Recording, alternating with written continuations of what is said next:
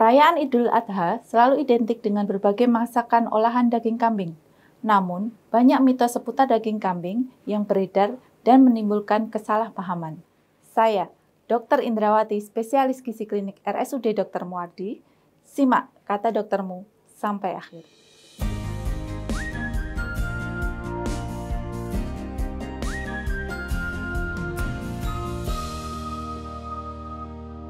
Mitos pertama, daging kambing menyebabkan hipertensi.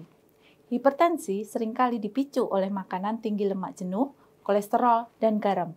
Faktanya, daging kambing memiliki kadar lemak jenuh dan kolesterol yang lebih rendah dibandingkan dengan daging merah lainnya, seperti daging sapi. Untuk itu, mengkonsumsi daging kambing dalam jumlah yang wajar dan dengan cara memasak yang sehat, seperti dipanggang atau direbus, tidak akan menyebabkan hipertensi.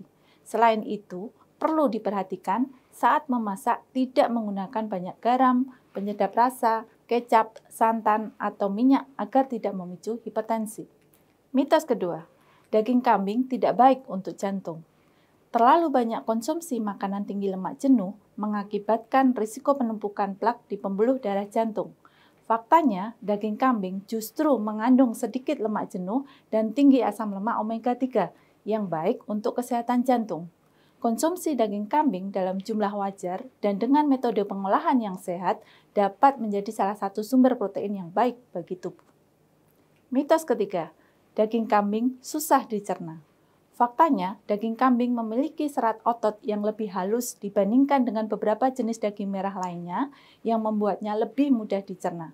Namun, sering kali dengan metode pengolahan yang tidak benar, daging kambing menjadi lebih alot dan sulit dicerna. Untuk itu, perlu dipilih metode memasak yang tepat agar daging kambing lebih lunak dan mudah dicerna, seperti merebus atau memasak dengan api kecil dalam waktu yang cukup lama, bungkus dengan daun pepaya, atau lumuri daging dengan nanas sebelum diolah. Mitos keempat, daging kambing mengandung banyak kalori.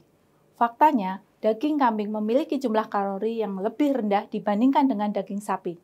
Dalam 100 gram daging kambing terdapat sekitar 143 kalori, sedangkan daging sapi bisa mengandung hingga 250 kalori. Oleh karena itu, bagi mereka yang ingin menjaga asupan kalori namun tetap menikmati daging merah, daging kambing bisa menjadi pilihan yang lebih baik. Mitos kelima, daging kambing memiliki bau perengus yang kuat. Faktanya, bau perengus pada daging kambing sering kali berasal dari lemak yang ada pada daging. Dengan menghilangkan lemak yang berlebih sebelum memasak dan langsung mengolah daging kambing tanpa dicuci, serta menggunakan bumbu yang kaya rempah-rempah seperti jahe, bawang putih, merica, dan sebagainya, dapat membantu mengurangi bau perengus pada daging kambing. Jadi, Sobat Muardi, faktanya daging kambing memiliki banyak manfaat kesehatan jika dikonsumsi dengan cara yang benar dan dalam porsi yang wajar. Daging kambing kaya akan protein, rendah lemak jenuh, dan memiliki kandungan nutrisi yang baik untuk tubuh. Jadi, jangan ragu untuk menikmati olahan daging kambing saat Idul Adha selama Sobat Muadi memasaknya dengan benar dan menjaga keseimbangan pola makan. Semoga informasi ini bermanfaat dan jangan lupa subscribe channel YouTube RSUD Dr. Muardi dan nyalakan tombol lonceng supaya Sobat Muardi tidak ketinggalan informasi terkini dari pakar-pakar yang berkompeten di dunia kesehatan. Semoga sehat selalu.